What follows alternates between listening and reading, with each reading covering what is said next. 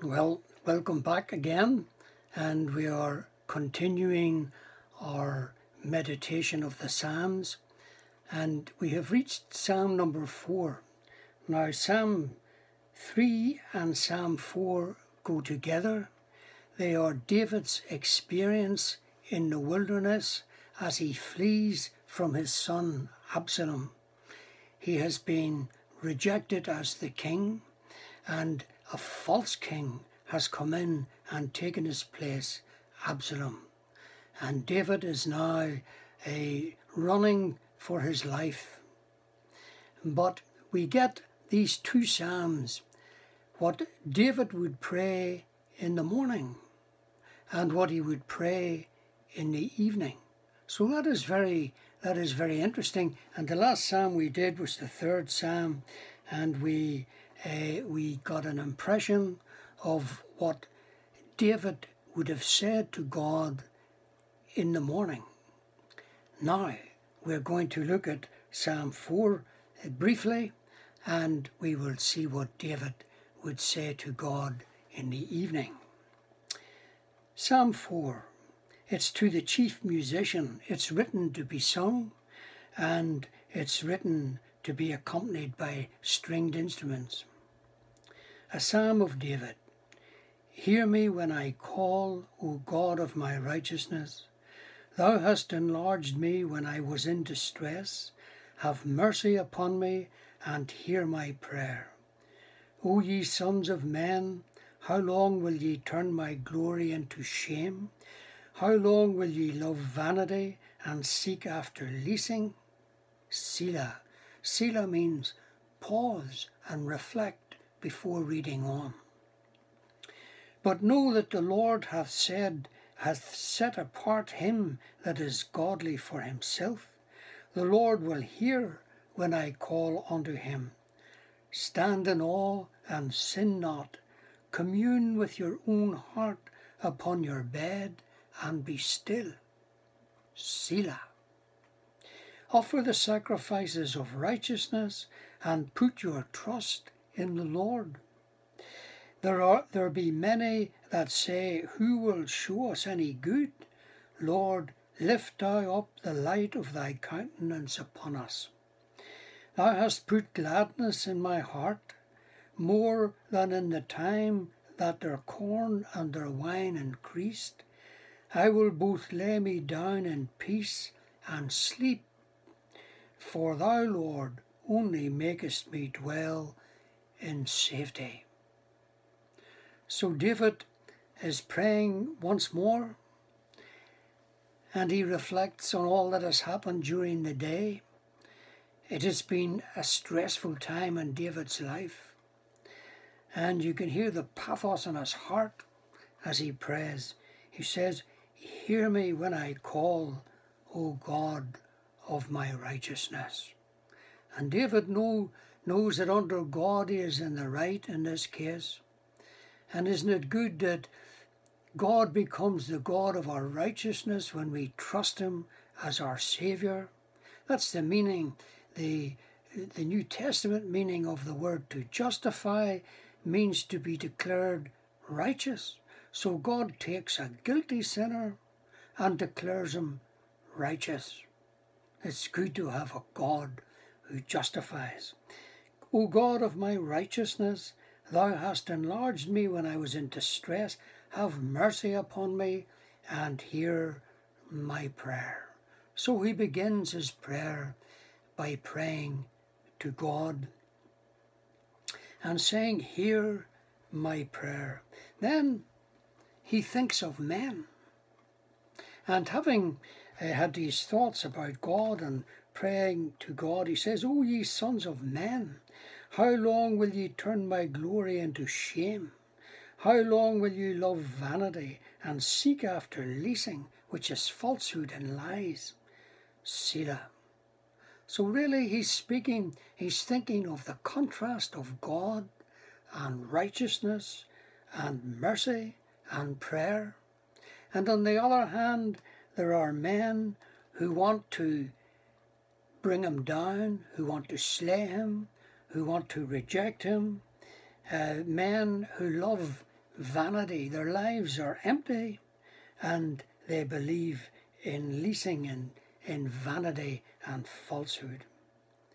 Now, David uh, goes into the second stanza and he says, But know that the Lord hath set apart uh, him that is godly for himself. And God knows every person on this earth, and he knows everyone who has trusted his Son.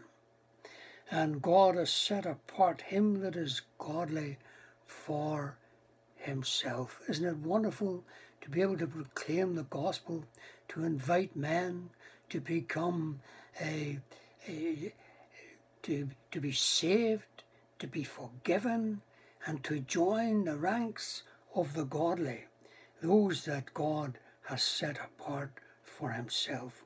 The Lord will hear when I call unto him. We're hearing David's concept and understanding of God. This, this is tremendously instructive and helpful. Then, as, as it were, he speaks to his own heart says, Stand in awe and sin not. Now, doubtless he's addressing the men who are his enemies, but he's addressing his own heart. Stand in awe and sin not. Commune with your own heart upon your bed and be still. Selah, he says, think about that. Isn't it good at times, even at night, to lie in stillness and quietness, no background noise, nothing to distract, no phones, no background music, to lie and to commune with your own heart, to think upon the scriptures, to think of what the Lord has done for you and is doing for you, and just to engage your heart with the things of God upon your bed and to be still. Be still. It's good in Christian experience now and again to be still. Offer the sacrifices of righteousness and put your trust in the Lord. Well, today we don't offer animal sacrifices or literal blood sacrifices, but we offer spiritual sacrifices. We are a spiritual priesthood built into a spiritual house as living stones. We are a holy priesthood and we offer spiritual sacrifices to God. That's wonderful. And God is interested in the language and the gratitude and praise of our hearts. There be many that say, Who will show us any good? Is there any point in going on with this, these prayers and keeping the commandments and living a godly life? David was under all kinds of pressure. Give it up, David. It's all a waste of time. Lord, David says, Lord, lift thou up the light of thy countenance upon us. What we need, isn't it? What we need is to have a fresh appreciation of Christ. Lift thou up the light of thy countenance upon us, to see the Lord and to be aware of the greatness and glory of his light, to get occupied with him. And as he would have been hiding in the desert and sleeping in the wilderness, hiding from Absalom's soldiers. He, he, his heart was engaged with God, and he said, Lord, lift thou up the light of thy countenance upon us. May, may the Lord do that in your life and in my life to appreciate Christ. Now we come to the last two verses, the last stanza, and there are three wonderful words in these. There's a lovely, uh, uh, there are some beautiful thoughts. There is, first of all, the word gladness. there is the word peace, and there is the word safety. Now, those are three beautiful words gladness, peace, and safety. So listen again to what it says. Thou hast put gladness in my heart. It's good to be glad in your heart, more than in the time that their corn and their wine increased. So David could look at ungodly men. And what makes the ungodly man merry? Plenty of good food, plenty of good wine and drink, and partying and so on. And that's the kind of thing that makes the ungodly man happy. But David says, I have more gladness in my heart than those men have, even when their wine and their corn abound. It's good to have an appreciation of the gladness that God has given us. Aren't we glad to be saved? Aren't we glad we're on our way to heaven? Aren't we glad that every single sin is forgiven? That God is our Father, that we're in the family of God, we're on our way to heaven, we're glad. The Lord has put gladness in our heart. And then his last words are this before he goes to sleep. He says, I will both lay me down in peace and sleep for thou, Lord, only makest me dwell in safety. Nice to be able to sleep and know that you have peace with God and you can enjoy the peace of God in your heart. And he says this, his last words are, Thou, Lord, thou only, are the one who makes me dwell in safety. You know, it's good David was thinking of his physical safety and physical enemies. But as we go to sleep even tonight, we know in spiritual terms and in terms of eternity, we're absolutely safe. We're absolutely secure.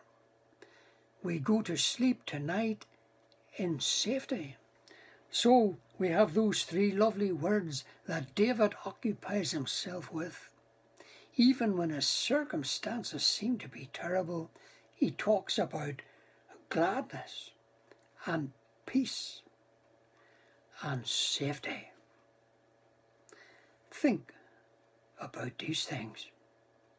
And the next psalm we'll be doing, uh, we'll be doing Psalm 5 and we discover that that is back to a morning psalm, and it is written to be accompanied by wind instruments. But may God bless our meditation on Psalm 4, and remember, enjoy the gladness that the Lord has put in your heart, and go to sleep tonight in peace. And be aware of this that all is well. You can sleep in safety. God bless you. Thank you.